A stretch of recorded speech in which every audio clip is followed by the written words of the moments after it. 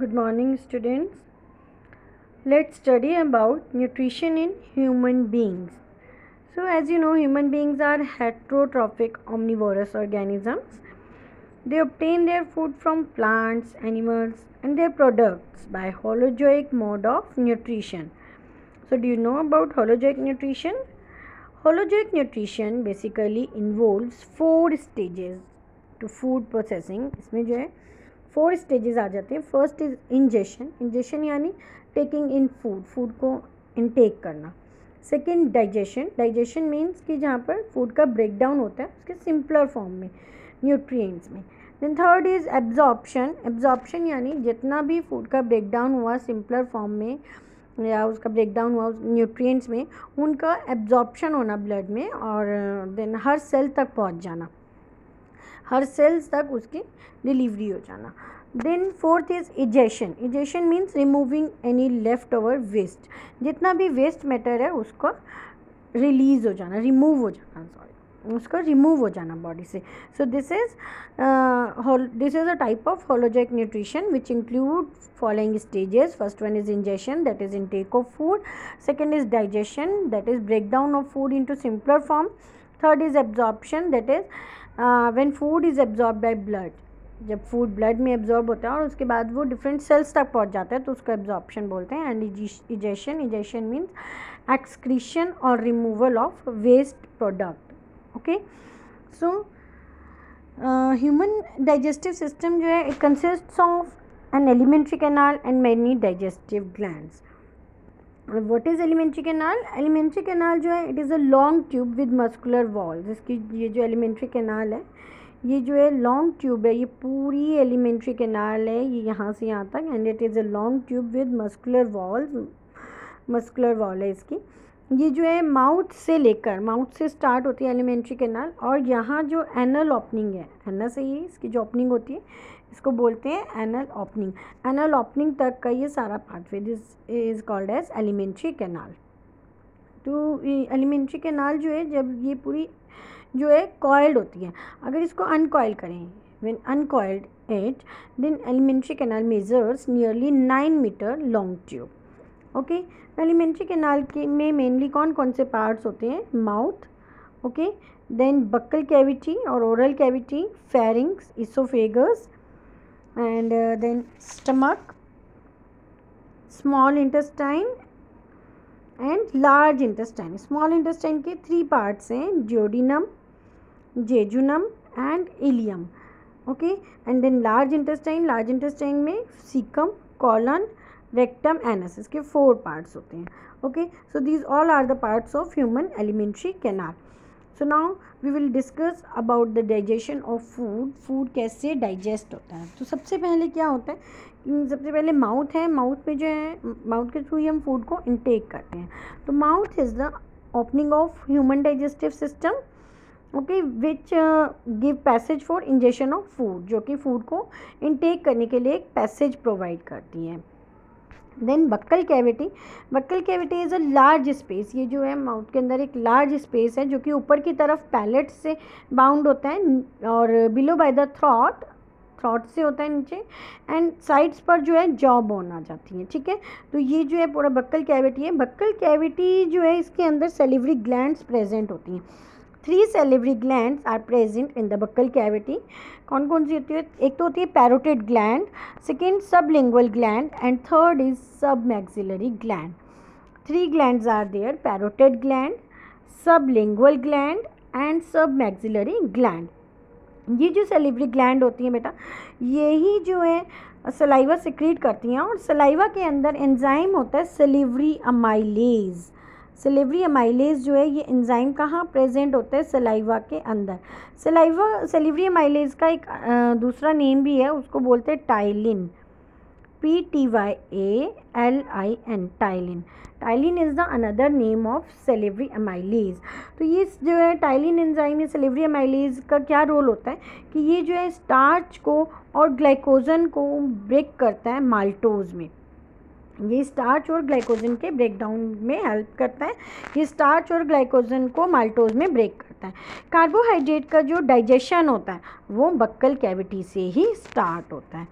Okay तो carbohydrate का digestion ये क्वेश्चन जो है बोर्ड में अराइज होता है कि कार्बोहाइड्रेट कार्बोहाइड्रेट्स का डाइजेशन कहाँ स्टार्ट होता है? इट स्टार्ट और it begins in the buccal cavity after that pharynx this is pharynx pharynx जो है it is about twelve centimetre long funnel shaped canal होती है ये।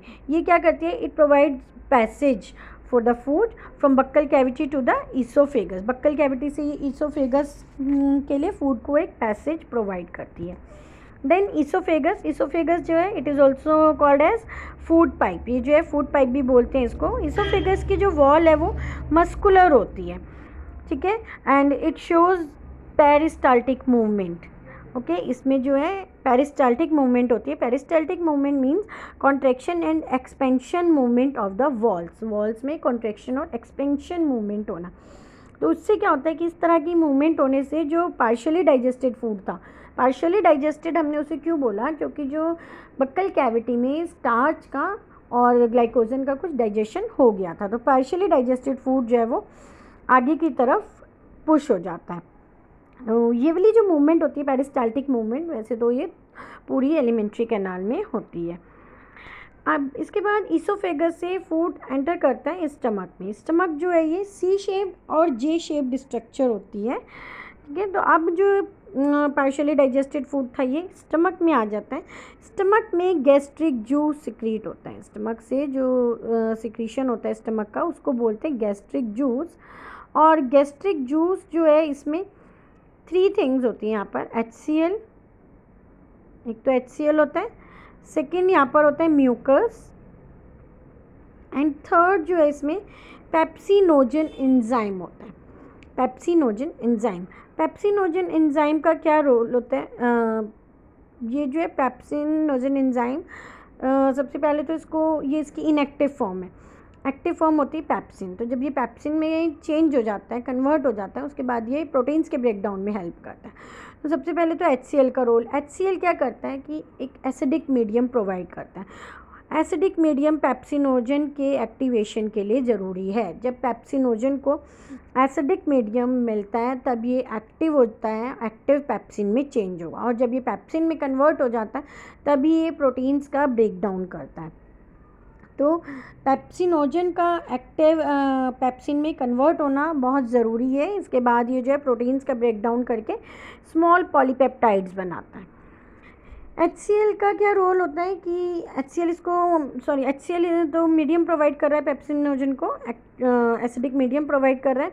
म्यूकस का क्या रोल होता है? म्यूकस जो है, ये यहाँ पर स्टमक में कुछ गैस्ट्रिक ग्लैंड्स प्रेजेंट होती हैं उन गैस्ट्रिक ग्लैंड से म्यूकस सिक्रीट होता है। ये स्टमक की इनर लाइनिंग को पूरी तरह से कवर कर लेता है and protects it from corroding action of HCl ये जो है एचसीएल का जो कोरोडिंग एक्शन होता है, आपको पता ही है कि एचसीएल एक एसिड है और एसिड क्या करता है? स्किन को बर्न कर सकता है।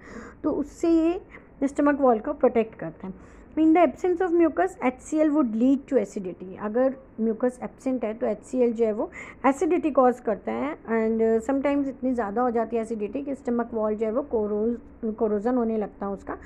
उसको बोलते हैं गैस्ट्रिक अल्सर ओके उसको बोलते हैं गैस्ट्रिक अल्सर तो म्यूकस जो है, ये स्टमक वॉल को प्रोटेक्शन प्रोवाइड करता है। तो यहाँ से जो है क्वेश्चन इंपॉर्टेंट क्वेश्चन अराइज होते हैं बोर्ड में. First what is the role of H C L if mucus is not secreted by stomach wall, then what will happen? Okay? Th, third है, what is the role of pepsin enzyme तो pepsin enzyme क्या करता है? Proteins को small polypeptide में break करता है. Then small intestine small intestine के ये जो सारा पार्ट है यहाँ से, ये डिओडिनम से स्टार्ट हो गया। ये स्मॉल इंटेस्टाइन का पार्ट है डिओडिनम जेजुनम एंड इलियम ये थ्री पार्ट जो है स्मॉल इंटेस्टाइन के। स्मॉल इंटेस्टाइन जो है नेम इसका स्मॉल है but it is the longest part of the alimentary canal ये लॉन्गेस्ट पार्ट है। It is a narrow tube of about six metres ये जो है सिक्स मीटर्स की है and it lies coiled in the abdomen आप ये देख रहे हो, ये कॉल्ड फॉर्म में, यहाँ पर एब्डोमेन में प्रेजेंट है। It, it is comparatively longer in herbivorous animals which eat grass and shorter in carnivorous which eat meat.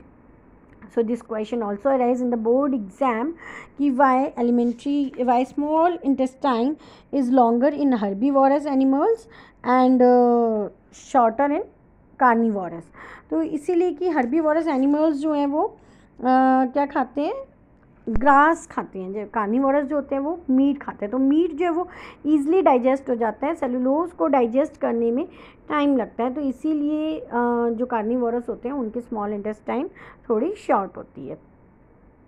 इसके बाद जो स्टमक था स्टमक से ये फ़ूड स्मॉल इंटेस्टाइन में आ गया यहाँ पर। अब स्मॉल इंटेस्टाइन में इस फ़ूड को एक अल्कलाइन मीडियम चाहिए। यहाँ पर जो फ़ूड आया था, वो एसिडिक था। अब फ़ूड को अल्कलाइन मीडियम चाहिए फर्दर डाइजेशन के लिए। तो यहाँ पर आप देख रहे हो ये लीवर है। लीवर के अंदर क्या है? गॉल ब्लेडर ओके लीवर के अंदर गॉल ब्लेडर है। गॉल ब्लेडर से जो है गॉल ब्लेडर में क्या होता है? बाइल जो है वो लीवर से सिक्रीट होता है और वो स्टोर हो जाता है गॉल ब्लेडर में जाके। ये लीवर है। लीवर से जो है बाइल यहाँ लीवर से बाइल सिक्रीट होगा और ये जाकर गॉल ब्लेडर में स्टोर हो जाता है। बाइल में कुछ बाइल पिगमेंट्स होते हैं, बाइल सॉल्ट्स होते हैं। तो बाइल का क्या रोल होता है कि ये जो बाइल सॉल्ट्स होते हैं, ये फैट के इमल्सिफिकेशन में हेल्प करते हैं। इमल्सिफिकेशन मीन्स कि ये लार्जर फैट मॉलिक्यूल्स जो हैं, उनको स्मॉलर ग्लोब्यूल्स में उनका ब्रेक डाउन करते हैं। तो ये जो बाइल सॉल्ट्स होते हैं, ये यहाँ से बाइल डक्ट के थ्रू ये यहाँ एंटर करते हैं स्मॉल इंटेस्टाइन में। ऐसे ही पैनक्रियाज, ये जो लीफ लाइक स्ट्रक्चर है, ये पैनक्रियाज है। पैनक्रियाज से जो पैनक्रियाटिक जूस ये एंटर करता है स्मॉल इंटेस्टाइन में। पैनक्रियाटिक डक्ट जो होती है, ये एंडोक्राइन ग्लैंड भी है पैनक्रियास जो है, सॉरी पैनक्रियास जो होती है, ये एंडोक्राइन ग्लैंड भी है और एक्जोक्राइन ग्लैंड भी है। एक्जोक्राइन ग्लैंड क्यों बोलते हैं इसको? Because it secrete some enzymes, like trypsinogen amylase lipase etcetera और एंडोक्राइन नेचर क्या है इसका? कि it secretes hormones like insulin and glucagon तो ये इंसुलिन और ग्लूकेगोन हार्मोन भी सिक्रीट करती है तो इसीलिए ये इसका एंडोक्राइन नेचर है। तो इसीलिए इसको हेट्रोक्राइन ग्लैंड बोलते हैं। पैनक्रियास को हेट्रोक्राइन ग्लैंड इसीलिए बोलते हैं। तो अब क्या होगा कि यहाँ पर स्मॉल इंटेस्टाइन में जो है बाइल सॉल्ट्स आ गए थे। बाइल सॉल्ट्स क्या करेंगे? फैट के इमल्सिफिकेशन में हेल्प करेंगे, यानी लार्जर फैट ग्लोब्यूल्स को स्मॉलर फैट ग्लोब्यूल्स में चेंज कर देंगे। और इधर से जो पैनक्रियाटिक डक्ट के थ्रू पैनक्रियास का सिक्रेशन आएगा, उसको बोलते हैं pancreatic juice pancreatic juice pancreatic juice जो है, उनको एल्कलाइन मीडियम चाहिए। एल्कलाइन मीडियम कहाँ से मिल रहा है? बाइल जूस से। तो बाइल जूस जो है वो पेनक्रिएटिक जूस को एल्कलाइन मीडियम प्रोवाइड कर रहे हैं। अब यहाँ आकर पेनक्रियाज में कुछ इंजाइम्स होते हैं जो इनएक्टिव फॉर्म में होते हैं, जैसे trypsinogen trypsinogen is the inactive form तो ये अब जब इसको एल्कलाइन मीडियम मिल जाता है तो ये चेंज हो जाता है ट्रिप्सिन में। अब ये ट्रिप्सिन जो है फाइनली प्रोटीन्स का ब्रेक डाउन करती है और प्रोटीन्स का ब्रेक डाउन करती है किसमें? अमीनो एसिड्स में। यहाँ पर आकर प्रोटीन्स का ब्रेकडाउन हो जाता है अमीनो एसिड्स में। तो यहाँ पर जो है अल्कलाइन मीडियम मिल जाता है, इसके बाद जो है पैनक्रियाटिक अमाइलेज यहाँ पर प्रेजेंट होता है। पैनक्रियाटिक अमाइलेज स्टार्च के ब्रेकडाउन में हेल्प करता है। पैनक्रियाटिक लाइपेज जो होता है वो लिपिड्स का ब्रेकडाउन करता है और ट्रिप्सिन जो है वो प्रोटीन का डाइजेशन करता है। इसके अलावा स्मॉल इंटेस्टाइन से भी यहाँ पर जूस सिक्रीट होता है, जिसको बोलते हैं इंटेस्टाइनल जूस और अनदर नेम है इसका सक्कस एंटेरिकस यहाँ पर सक्कस एंटेरिकस ये इंटेस्टाइनल जूस सिक्रीट होता है। तो इंटेस्टाइनल जूस के इंजाइम्स भी फ़ूड पर वर्क करते हैं, उसके डाइजेशन में हेल्प करते हैं। तो ये एंजाइम्स क्या करते हैं? आप कंप्लीट डाइजेशन कर देते हैं प्रोटीन्स का अमीनो एसिड्स में। कार्बोहाइड्रेट्स को ये ग्लूकोज में कन्वर्ट कर देते हैं। फैट्स को फैटी एसिड्स और ग्लिसरोल में कन्वर्ट कर देते हैं। ये जितने भी प्रोडक्ट्स हैं, ये सारे वाटर में सॉल्युबल हैं और ईजिली जो है ये स्मॉल इंटेस्टाइन की वॉल में एब्जॉर्ब हो जाते हैं। स्मॉल इंटेस्टाइन में कुछ फिंगर लाइक प्रोसेसेस होती हैं, जिन्हें बोलते हैं villi and villi are richly supplied with blood capillaries so ये जितना भी एब्जॉर्ब्ड फ़ूड है, ये ये जो है ब्लड के थ्रू डिफरेंट टिश्यूज़ तक पहुँच जाता है। Then last part is large intestine large intestine का ये वाला पार्ट जो है, ये सीकम है। देन कोलन एंड देन जो है रेक्टम एंड एनस तो लार्ज uh, इंटेस्टाइन जो है ये शॉर्टर है स्मॉल इंटेस्टाइन से बट वाइडर है. It is wider than small intestine okay it इसमें जो है म्यूकस प्रेजेंट होता है. इट सिक्रीट्स म्यूकस यहाँ पर म्यूकस प्रेजेंट होता है. Undigested food is collected as faeces in the rectum यहाँ पर जितना भी अनडाइजेस्टेड फ़ूड है, वो कलेक्ट हो जाता है। और इसके बाद जो ये वाटर है लार्ज इंटेस्टाइन की वॉल में सारा वाटर एब्जॉर्ब हो जाता है और जितना भी फीकल मैटर है, वो यहाँ से एनस की जो ओपनिंग होती है एनल ओपनिंग यहाँ से बाहर रिमूव हो जाता है।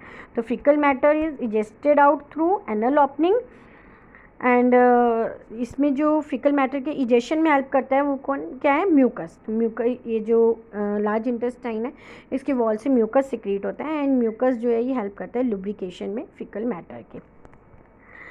तो uh, जितना भी डाइजेस्टेड फ़ूड था ह्यूमन बींग्स में मेनली वो क्या था? Glucose fructose galactose amino acids fatty acids etcetera तो ये सारा जो सिंपल uh, मॉलिक्यूल्स थे ये कहाँ कहाँ यूज़ होते हैं?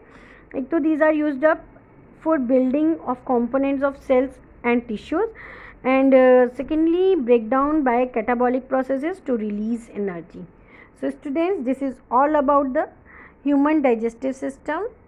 Hope you have understood very well. If you have any doubt you can ask.